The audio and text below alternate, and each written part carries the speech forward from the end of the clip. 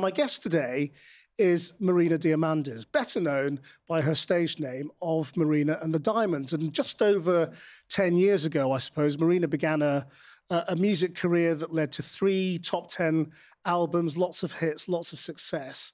And then she slightly dropped off and disappeared three years ago. Um, but she's just come back with a new album and a tour and a new name. You changed your name. No longer is it Marina and the Diamonds, it's just Marina. Yes. So welcome and, and explain that first. The, the artist formerly known yes. as Marina and the Diamonds is now just Marina. I love saying FKA Marina and the Diamonds. um, yeah, I am now going under my first name, Marina, and there's not really a huge reason behind it. It just felt like a natural um, a natural decision for me. And I spent 10 years of my life um, under Marina and the Diamonds exploring a lot of topics that were connected to identity, personas in pop. Um, and I just wanted to simplify the way that I function and interact with the world as an artist and to distill what I do into like a very singular message. So the name change has encouraged me to do that, and it just feels right. I mean, was Marina and the Diamonds more of a creation, and Yeah. Marina is is more just Yeah, exactly, exactly. And it was kind of unwittingly as well. When I first came up with the stage name, I didn't really think about it too deeply. I just liked the idea that it it sounded like a group or a community, and but I was actually a solo artist. Now I feel um, like I want to do things differently. Now, you've always been a little bit different um, in that uh, you know you're, you're not you're not a conventional pop star. You're not you're not um, you know you, you don't play the pop star game or haven't played the pop star game on the whole. Um, and you talked about m- much more serious topics than a, a lot of people and about the industry quite openly and about your sort of struggles with it. Um, I mean, wh- why did you why did you stop in 2016? Why did you decide you, you wanted to quit? Uh, because I felt like my connection to music and performing had changed, and that freaked me out a lot. Because for me, the first 10 years of my career, I was writing music because I needed to write on an emotional level, but also I feel like a lot of what I did was motivated by ego. And as it is for a lot of artists, especially when they're younger. So you had this constant tension between Kind- the draw of being a pop star yeah. and the need to write music. Yeah, and but also perhaps perhaps not just being drawn to being a pop star. It was more thinking that that's what I should want. And actually, like you said, I'm not a traditional pop artist, whatever that means these days. I just needed to have a break, but I because I was worried uh, that I didn't feel as passionate anymore. And I thought if I'm not led or driven by ego, maybe it means that I, I'm not going to be a good artist anymore. I couldn't see how I could write good music without like needing um, praise from other people. I was just like, that part of me is dead. Were and I couldn't very see that it was a positive thing. About your music. I mean, Have I always been intense about uh, it? yes. Yeah, it was my whole life. It was my whole life. And I didn't really have a life outside of that. I didn't have much of an identity outside of that because it was so drawn up in being Marina and the Diamonds and, you know, using my my life as inspiration for my work. Can we, can we sort of wind back to the beginning about how it all started? Yes. Because you weren't a sort of uh, a manufactured pop child or anything, were you? I mean, I did, wasn't. did you learn music as a child? I mean, I tried, Krishnan, to be a manufactured pop child. I did try to do girl band auditions, but I never got never got the job. so what was childhood like? I grew up in Athens and Wales, um, in a little village in Wales from the age of four. I didn't have any musical training to speak of. And I, I mean, up until I was about 18, I was like very studious in school. Um, I was actually going to go to university to do media studies. And then I, I announced to my parents that I actually wanted to be a singer and a songwriter, and they were just very bemused because I'd never I'd never sung before and I'd never written a song. Had you studied music No, at school or anything? I mean I I did violin and flute when I was 14, but that was it. And so, um, where did it come from? I mean, was it something you'd always really thought you'd secretly yeah, I had. Yeah, I had secretly harbored. Yeah, I hadn't talked about it because I didn't want anyone to say that I couldn't do it. But I knew that I should be doing this because I love, I love words. I love writing lyrics, and that's that's kind of like the thing that powers my whole experience as an artist. It always starts with lyrics. It's never like, oh, I've just thought of an amazing chord progression. It's like I have something I need to say or work out for myself, and that's why I write. So, when did you start writing a song? Um, 20? That was the, that was when you began. Yeah. And then four years later, I got signed. So it was quite a fast track process. How? I mean, that, that's incredible, isn't it?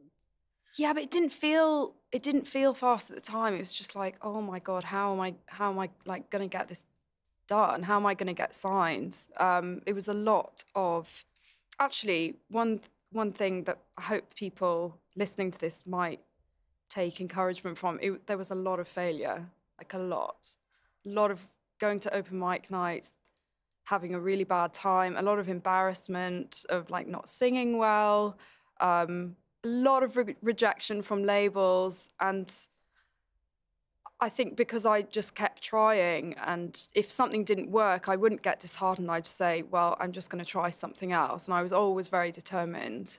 Um, and that eventually led me to getting signed. And how were you making a living? Um, I was a waitress um, at lots of different places because I couldn't hold down a job. I I hated, um, I actually hated retail and waitressing because I got bored so quickly. So I would usually do these temp jobs, doing like film premieres, you know, house parties at like wealthy people's houses. And then at some point I thought, you know what? I think I should go to university and I should get a student loan so that I don't have to do these jobs every, you know, every single day and I can spend my time songwriting and I can buy a laptop so I can start producing my own songs. And that's what I did. So I on the last day of clearing, I just picked a uni, um, which was University of East London, and I went and studied music there. So I did that for two years to to be able to not have to work as much. Right. Okay. But then how? So how? But how did you? How did you become successful? Were you Um, discovered? I yeah, I, I was, I suppose, on MySpace. My current record label actually, they found me on there, and at the time I wasn't quite ready to be signed. So when I'd written a lot more songs and got a bit more confident, then I got a record deal. So what was the dream at that stage? I mean, what? What? Why were you doing it?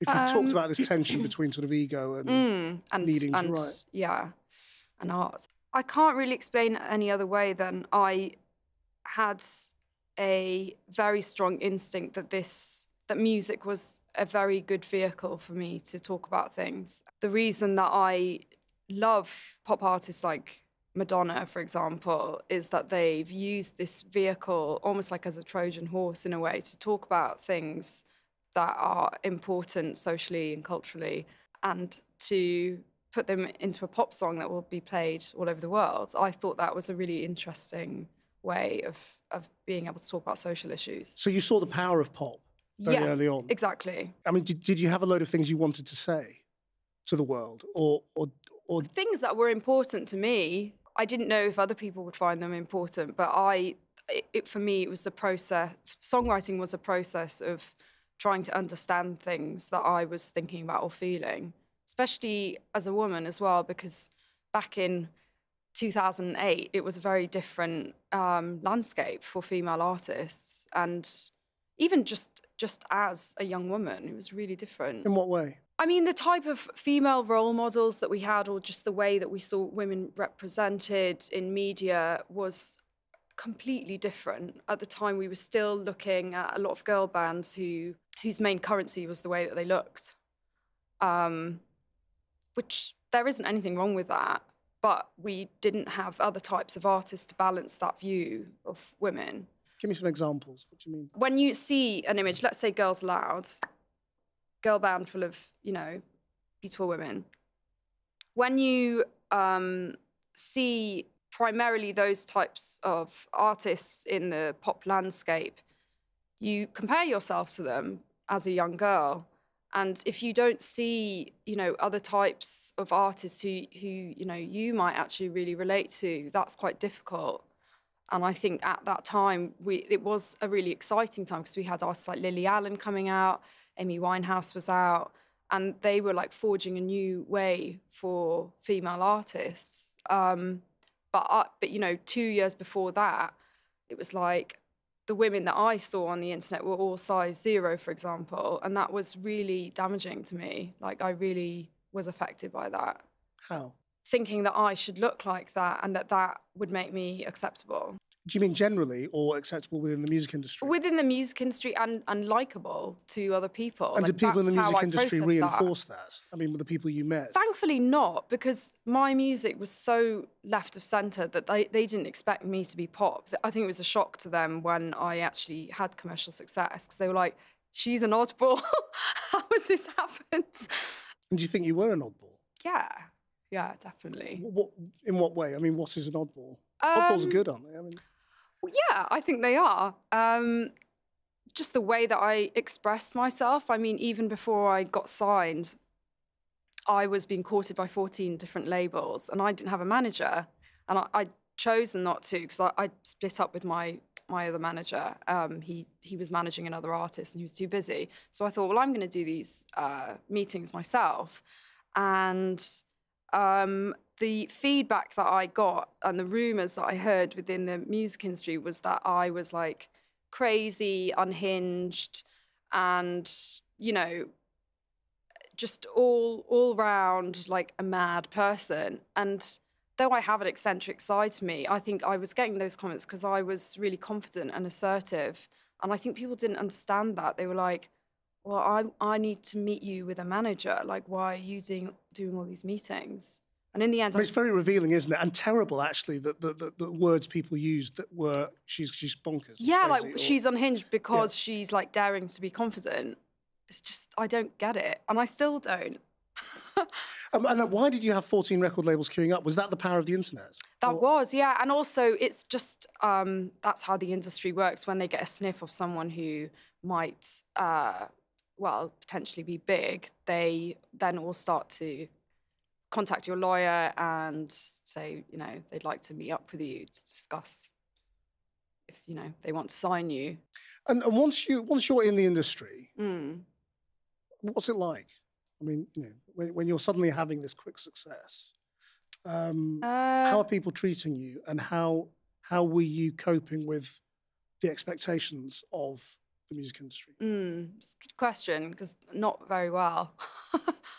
I uh, I found it really stressful, and actually, I didn't really enjoy that my first album campaign because of that because I was so um, anxious all the time. But the last album, I you know it was a different experience, and this one has been too. So it's I think it's quite a polarizing experience because it's it's an odd job to have, and you can't really compare it with many jobs just in terms of not even not even like being known or being famous or whatever but the actual lifestyle of being on tour and traveling a lot is weird and um, that's something that you can't really underestimate the effect of I've heard you talk about the difference between your first and two album, second albums. Mm-hmm. You know, before in terms of how you were encouraged to work with different people. Mm-hmm. Um, what do you think has been the overall experience of that, and wh- where have you ended up with this latest album? So the order, the order, if you like, was you, you wrote your first album yourself, yeah uh, pretty it was like half half and then the second one was you were thrust together with all sorts of Lots- superstar collaborators. yes yeah And what was that like? um Just not enjoyable. there were moments that were enjoyable but again i like i am a very anxious person and i found it really anxiety inducing because i also wasn't that confident in those environments when you're co-writing. It is quite an exposing experience anyway and so if you don't know that person it, it can take a while. And then for the third album, you came back to being in control of it. yes and i wrote it completely alone and i produced it with one producer which i definitely needed to do And that was a much happier experience. Yeah, I loved it. I absolutely loved it. And- And so, if you got to the end of this sort of happy experience, Mm. why did you want to stop? well, the creating it was nice, and actually, you know, promoting it and being on tour was was nice. But I just knew from the start of promoting it that something had changed in me, and that I didn't have the same motivations anymore. You know, it's like if you do something for ten years, then if you're if you've stopped growing within that job and its vocation, then you just think, what am I doing? What do I have to contribute? I, I don't want to go through the motions with anything ever. And that's why I thought, well, I'm if I feel like this, I'm not going to do anything. I'm not going to put a record out. I can't ever imagine just doing something because I have to earn money or um, or like satisfy a label. That's not why I became an artist. So, what changed? why did I start writing again? I think it was because I allowed myself to quit. Because for the first year, I was like, oh, I just said to my management, oh, I'm not sure if I really want to do this anymore.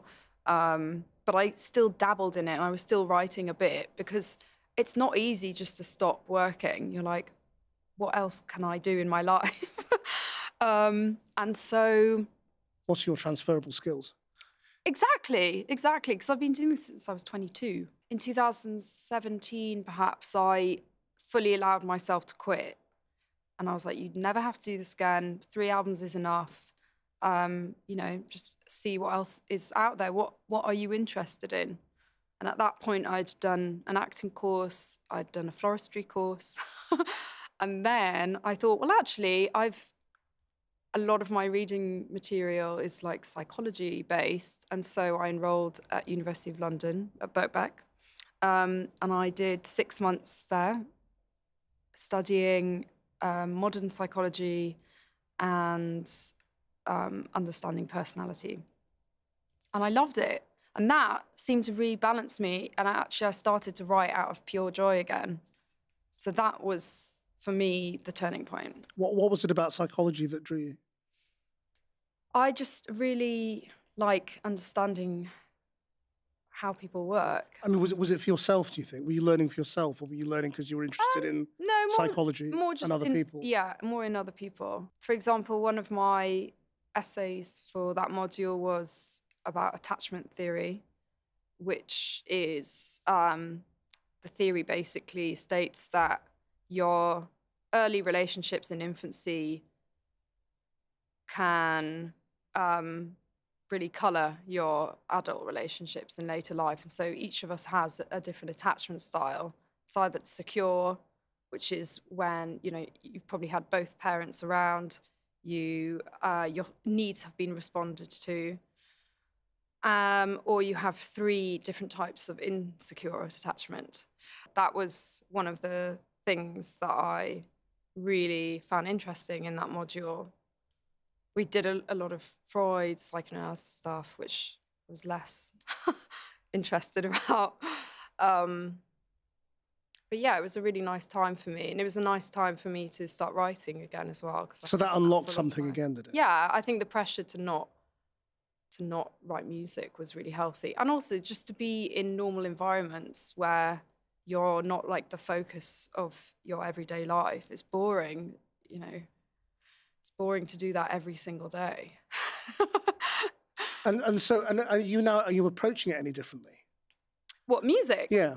Yeah, I think so. I mean, even doing something like this today is really refreshing, and I I would r- much rather be doing types of promotion that are is like genuinely engaging when we're talking about issues outside of music as well as inside than always doing photo shoots or you know one liners somewhere. It's i think it's you just have to figure out what you're actually interested in what's important to you and then build your life around that and your career. I think it will work. So what what are the big themes in this record that you're hitting? so my fourth record is called love and fear. When i listened to the songs i'd written it felt very odd to put them on one record. There were 16 songs I noticed that a lot of the songs could be divided up between songs that were written from a place of love and songs that came from a feeling of fear. and the themes on love are very much about unity and i that hasn't been like a something that i've done on purpose but i am influenced by politics or you know whatever's going on in society even though i know nothing about politics um, i think that's been a theme that's been very difficult for a lot of people to um, to grasp and to see what's been happening all over the world we've had a lot of social change in the past three years. Another is how, well. How, let's stick with that. I mean, how, how, has that affected you at all? You know, what's been going on around you? I mean, if you say I know nothing about politics, a lot of people mm. say that. You know, without really stopping to think. Well, actually, we're all political beings to some degree. Mm. We all have, you know, the vote and conversations, and we yeah. care and believe in things, mm. um, which I um, you know, you, which I know you do as well. So, I mean, how, how have you been affected by seeing what's been going on over the last two or three years in this country? I would say I've been more affected by by events in America in a way. It's not to say I haven't been affected by things like Brexit, because I have, but just seeing how racism is still present is so disgusting to me and it's so it's so upsetting. Sorry. We've all cried about this. Yeah. Um, at, at, different times. And I think particularly racism is, is one that goes uh, right to the gut. Yeah, it just feels so anti human. And I I think we're at a time socially where we've been able to absorb and try and understand what's happened in the past three years to, you know, with events in the UK and America, all over the world. But it's it's very um, it's very painful to see that some people's realities still involve racism and and misogyny as well or you know homophobia i just feel like it's so it's so hard for me to accept that people are anti-human beings. Is is this based though on um, personal experience or the experience of friends or just what you're seeing as a as an observer on the media, on social media, yeah. whatever? I think it's it all be? three really. I mean, in terms of racism, I'm Greek, but I'm white, so I I've never really experienced that, but I have friends who certainly have. Um, and, you know, in terms of being a woman, I feel very aware of um, of the, the progress that's happening and the changes that are being made and the way that in which we view women as multidimensional people as we view men. Um, but there's, you know, there's still a lot of there's still a lot of hurt there, I think, for a lot of a lot of women, particularly particularly in how women are treated in the media. I did a post recently on Twitter saying, listing all the ways that I could think of that women were shamed. And that went from, you know, being too fat, being too thin, being beautiful, not being beautiful, wearing makeup, not wearing makeup, having kids, not having kids, being a working mother, being a stay at home mother, you know, being confident, being assertive. I know that men get shamed in different ways too, but it just seems like the female experience is like it has to change. It just has to. Because I'm not going to put up with it anymore. I don't want to make myself small or make myself different to who I actually feel like inside, just to, you know, be palatable to society. And, and I I know that a lot of other women feel the same.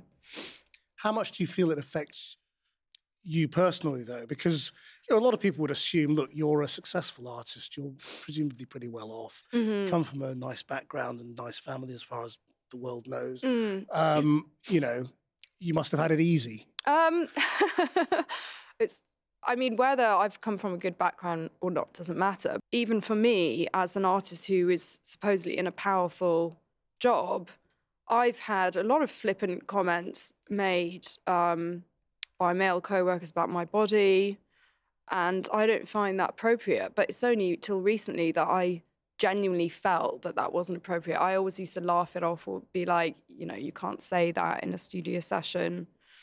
Um, So, though my experience as a female has been much more fortunate than a lot of other females, I still feel those injustices. I mean, music is often a thing that people turn to mm. when they're feeling, well, and then when they're feeling anything, to be honest. Um, is that how you want to change the world? Is, is, is that the power of your music? it's such an epic statement. I mean, it, I know, and, it, and, it's self-aggrandizing. but so I mean, I, you know, I sort of, I know it's embarrassing to say this. Is how I want to change the world, but um, but everybody does in their well, own little everybody way. Everybody does. I completely agree with you, and that's.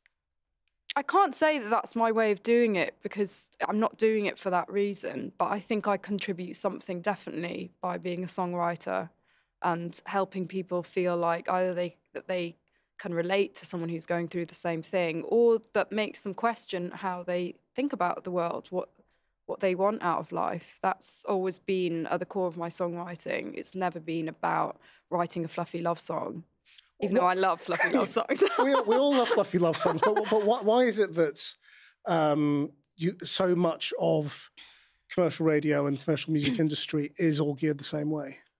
as somebody who's been in it, can you just explain why? I think people find it risky um, to have an artist who has a strong opinion.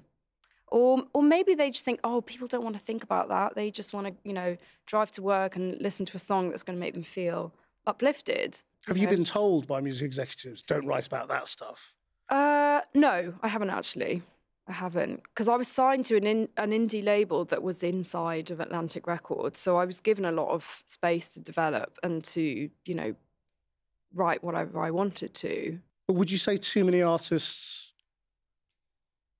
you know, cave in to the ways of the industry or the demands of the industry? Yeah, definitely, because they're they're not thinking I think what happens is that their their main goal is to succeed, and they've got a pressure to do that and to be in the charts. So I think that sometimes the message comes second to to that. I don't know if that's fair. And, well, it must be easy to get buried, mustn't it? Once you have a little bit of success, mm. you have to replicate it. And you have to do it again and again and again. Yeah, and totally. Like I'm so happy with how my career's gone because I've always had success, but I've never had like a massive, you know, globally um, successful album. And I think that's been really beneficial to me as an artist because if I'd had that on my first record, I think my career would have gone very differently and I wouldn't have had as much creative freedom. And how do you see your journey now? Who knows? I do not know what to expect for this fourth record, but I feel very positive and confident about it. I think I've made. I think this is my best record to date. Can we go back to? I don't want to make you cry again, but can we go back to America? yes. Um, you know, because it was interesting that you said America was was the thing that kind of had got you thinking more, and obviously, um, you know, your your your single about Hollywood and mm. the line in that about yeah. being obsessed with America yeah. is obviously something that you felt for for a while. I mean, where was that referring to anything in particular? Um, I think probably that was referring to tabloid culture at the time and American celebrities.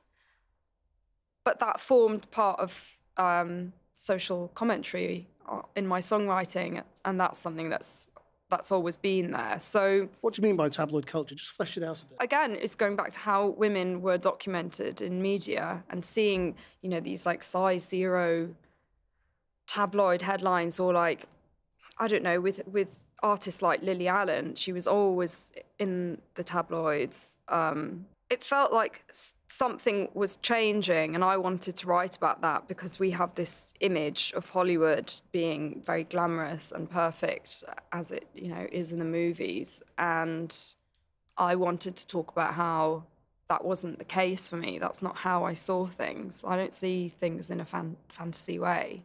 I want to see things for how they really are. Um, and can I ask you about Wales and how big a how big a thing Wales is in your life? Because I mean, you, when you say you grew up in Wales, what was your growing up in Wales like?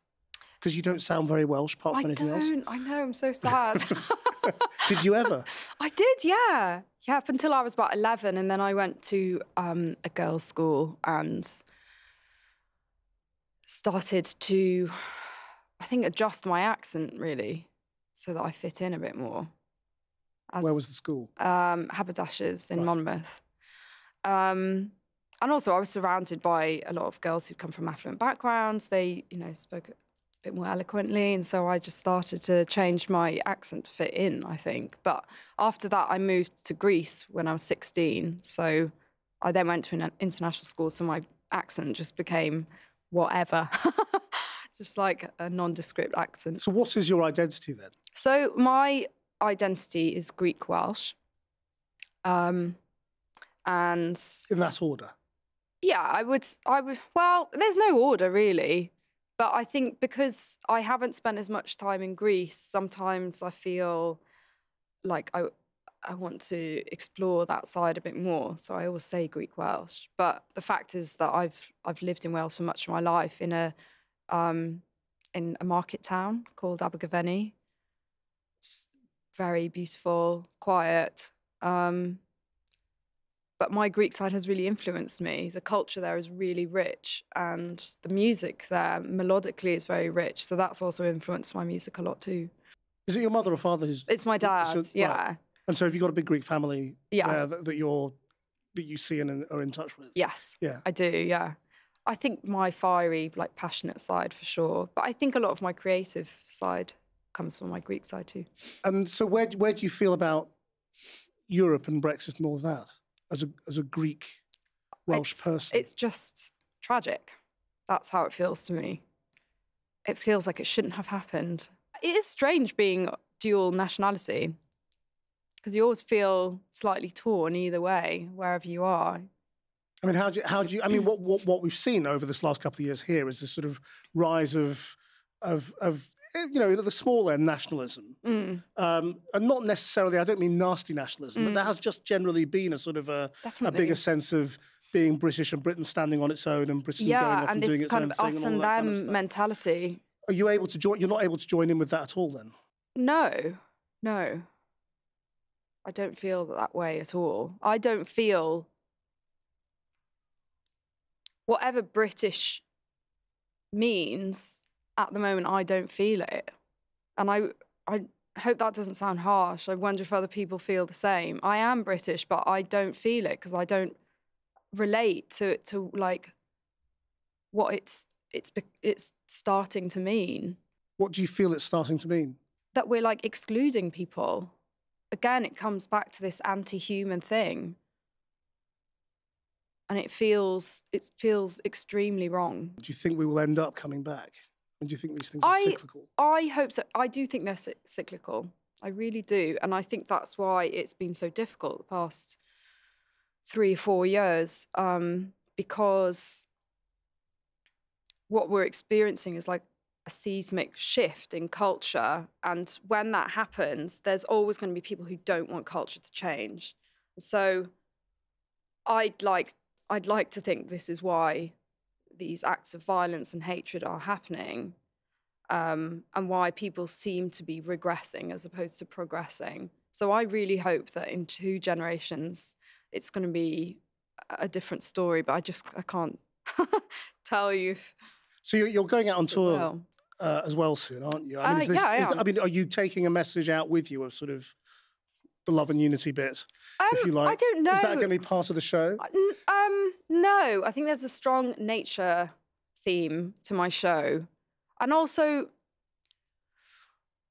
I don't feel like I can talk about these things all the time. And it's, you know, if I'm asked about it, I'm happy to talk about it, but it's also not my place to ram it down people's throats. I think my music, as like cliches as this sounds, it does speak for itself. And I put a lot of my thoughts into music because I am a slower thinker. I think about things slowly and then I make a song, and that's how I like to present my ideas. So it's more difficult for me to talk about these things in person. so I probably won't be chatting about it when I'm on the road, but um, but yeah, I do have a tour coming up. I'm playing Royal Albert Hall on 3rd of May, and I've got I think five more dates in the UK, in and around the UK. I mean, I, I, you went to the Oxford Union and spoke to students there, and, I- and, and you know, and I watched you there talking about how you thought, you know, the, the power of music was to be a sort of social commentary on the time. Mm. Um, is- is that what you're doing? I mean, do, do you think your new record tells us something about where we are right right now. I do, but I definitely didn't do it on purpose. Again, I'm not really in charge of what I want to write. The idea just comes, and then what comes up, and I and I do usually think about things for about a month. So I might write down a line, and then a month later I'll come back with a better informed um, perspective on it, and I write about it. So it's I, you know I wouldn't go as far as saying this is like a political record, but there are songs on there that definitely reflect what we are experiencing. Um, and what's happened to your your following? Has your following stayed loyal? Yeah, Because because your because your albums you, you you sold albums without huge amounts of promotion and Mhm. airplay Yeah. on the radio because you had this very loyal following. exactly. Are they are they still there? I mean, are- and are they still diamonds? I mean, I don't know. I, I think they're still there. I mean, they seem to be online because that's a, a good gauge for when I communicate with them. You know, even for example, with having time off, I haven't felt pressured to come back at all, like at all. And I think my fans appreciate that because the reason they've connected with me is not because I'm in magazines every day, it's because my music has said something to them and it's spoken to them. So I I mean I hope that I hope they're still there. I'm pretty sure they are. They're waiting, very impatient. Well, you'll find out pretty soon. won't you? Yeah, yeah. I'm, I know they're impatient. they're like, "Where's the damn album?"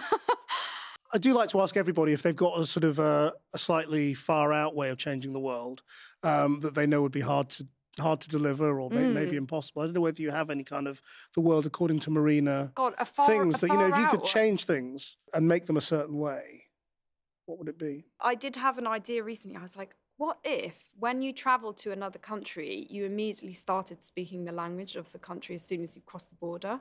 Like you, you know, you had some chip in your brain that that that would probably help a lot because you'd be able to understand people's points of view, people that you might, you know, not be able to connect to otherwise. So that's my way of half changing the world. Well, Marina, thank you very much indeed for Thank coming in so to share your ways to change the world. It's been a pleasure talking to you. Um, and the album is out. It's out on the 26th of April, Love and Fear. Brilliant. Well, good luck with it. Thank you Thank so you very much, much. for coming in. Thank you.